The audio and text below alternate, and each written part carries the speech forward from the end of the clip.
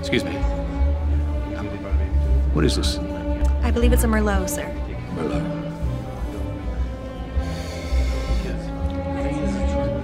No. I don't think so. Um. You see, well, it's all about the quality of the grape, the aroma it creates, and, and, and how it's made. You, you can't just, you know, put it in a bottle and, and, and expect us all to drink it, right? Hmm? If it was a Merlot, I would expect, um, well, rose, violet, currants, plum, black cherry. There's no, there's no complexity to it. There's no balance. It's um, and I, I won't have an emotional response to it. Do you know what I mean? Victor Adrian? You better shake it up. Marilyn Farragut of the CDC. Peace off. Okay, morning. Hey. I was watching that. I... What do I get out of it? Excuse me? Quid pro quo. I scratch your back. You scratch mine. You understand each other? What is it you want? First, you Gotta call off the guards. I've been taking a shit without a chaperone for the last six days. Second, I want to be first in line out of this hellhole when the cavalry arrive. Clear about the marketing. Patients had to stick to the schedule. One pill a day, rise and sunshine? That's right. Follow the label, you won't get addicted. We'll introduce evidence to the contrary. Well, sure, there are exceptions, just like with any drug. But our warnings were big and clear. There was no small print. We were transparent.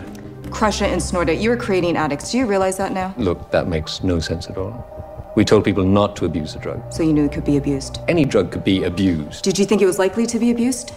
No. Hell no, we'd no idea there were going to be addiction issues. You're still. Now, Kathleen is a believer, and so am I. That means when we're together, well, time flies. When do you plan to leave Mascouche? I was due to leave Mascouche today, but Kathleen asked me to stay a little longer in Mascouche. I want to visit what you people call the crime scene. That way I can validate that this is what we think it is. A UFO abduction. And folks, here's a fact I want you all to remember today. The vast majority of abductions end just fine. But why was Benoit so fascinated by this phenomenon?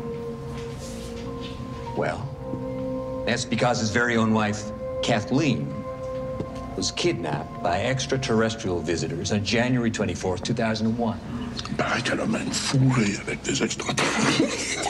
Now, in the next few days, Benoit's body will be released from the morgue. But we intend to examine the remains to establish whether or not it is his body or that of a cloned duplicate. Why is this out of the room? Have you found a scientific explanation for it? Like, is it for them? Uh, no, we think it's for us.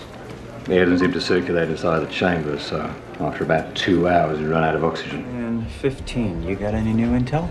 Yeah, we've been playing back some of their sounds. Where does that get you? Well, they play audio back at us from an unseen source. Audio of what? Uh, it's bits of conversation from the room, uh, random clips of dialogue. Really, we we have nothing. So how'd you know about the grapefruit, the stab wounds? When I found out about Carol, I called the police in Riverside, and they put me in contact with the coroner, and he, he sent me this letter with, with all the details of how she died. The Riverside coroner's office sent you a letter. Where is it? It's in the top drawer by the kitchen sink. Made uh, quite a meal out of that, didn't you? Yes, it needed to look convincing. Look, you asked for 12 million, I gave you 12 million. Thank you. This never happened. Understood? Of course. The diplomats from all around the world are arriving here today at the Hotel Royal. It's a historic day as the uh, official ending of United States military involvement in Vietnam. Yesterday, the Paris Peace Summit was rocked by the appearance of unidentified assailants. The likes of which the world has never seen. Mass hysteria has gripped the nation as people ask, where do they come from? Will they be back? And most importantly, are they friend or foe? That was London What happens now? Clay Russo's going to jail for a long time. No, I mean with me. What happens to me? You did hold up your end of the bargain. I did? Yeah.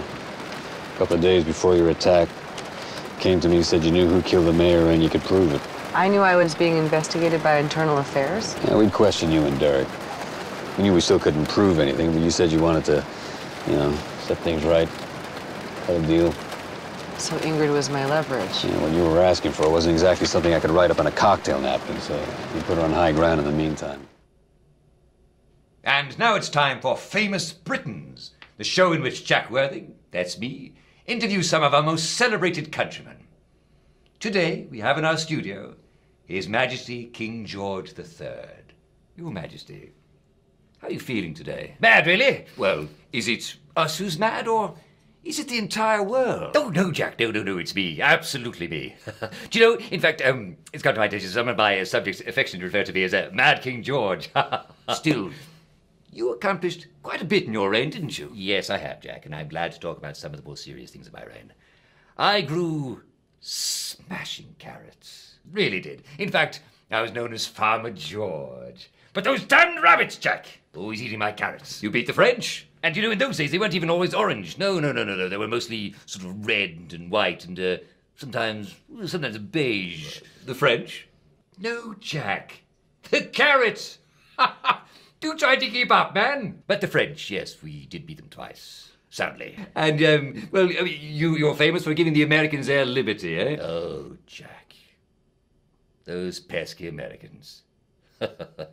Any idiot can grow vegetables in the New World. You just chop down a tree and there's your farm. I mean, try doing that in a plot of land that's been farmed for 2,000 years. Ha! Good luck to you, man. But Jack, the damned rabbits were always eating my lettuce. Well, you do sound a little upset. But I'm mad. I'm absolutely mad. Mad King George, barking.